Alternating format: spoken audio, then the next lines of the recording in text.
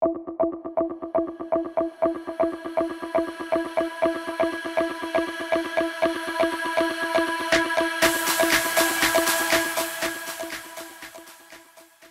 friends, uh, welcome back to my channel. In this video, we are going to look at the Indian biotech sector. Some of the key facts about Indian biotech sector are the foremost thing is India is among the top 12 destination for biotechnology globally and uh, India is the third largest biotechnology destination in the Asia Pacific region. In 2020, the biotech industry reached a market size of $70.2 billion, rising from 12.3 in the previous year. The sector also is making an increasing contribution towards the national GDP and is a key part of India's vision of reaching 5 trillion economy by 2024.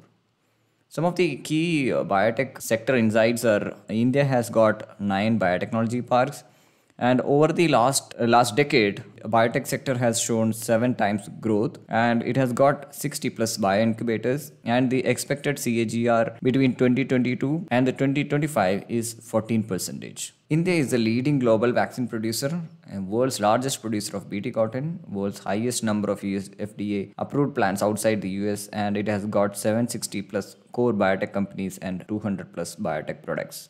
India's biotech sector is categorized into biopharmaceuticals, bioindustrial, bioagricultural, bio-IT and bioservices. Within the biopharmaceutical segment, India has developed into a prominent vaccine manufacturer globally, occupying the leading position in the supply of DPT, BCG and measles vaccine. India also leads in biosimilars with one of the most biosimilars approved in the domestic market.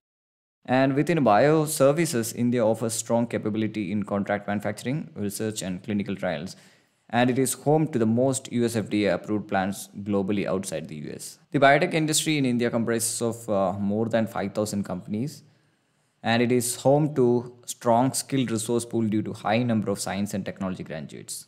If you look at the growth trend from 2015 to 2020, Indian biotech industry was valued at $70.2 billion in uh, 2020 and it is expected to reach $150 billion by 2025. India's uh, bioeconomy has uh, different sectors uh, like bioagricultural, bioindustrial, biopharmaceutical, uh, CRO, bio-IT and research. Uh, all combined, the total bioeconomy is uh, $70.2 billion.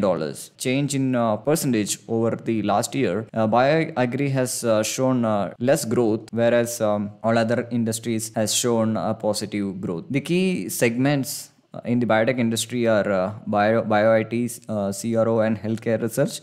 BT cotton, biofertilizers, biopesticides, enzymes, biofuels, biological or therapeutics, vaccines and diagnostics and medicine. So if you look at this uh, pie chart, we can see that the diagnostics space has 25.6 percentage of share, that is the largest, followed by the vaccine, which accounts for 17.8 percentage. And next comes to the BT cotton, which is at 14.4 percentage. And similarly, bio-IT and CRO research that is 15 percentage. So the segment share comparison between 2019 and uh, 2020 the biopharma has grown from 58 percentage to 62 percentage uh, whereas bioagri has got a hit uh, and it has dropped from 19 percentage to 16 percentage. This is mainly because of the COVID lockdowns and uh, other issues related to the COVID. Because of the textile industry got uh, shut down during that phase, uh, that's the reason there is a, a decline in the growth.